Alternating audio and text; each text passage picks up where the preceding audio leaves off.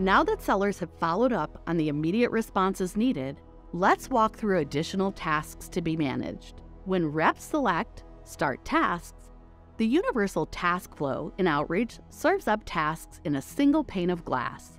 One thing you'll notice is that when sellers are in their email, the Outreach Everywhere extension loads, including all of the relevant details about the prospect or customers, such as their LinkedIn profile, company website, and if this contact is involved in any open opportunities.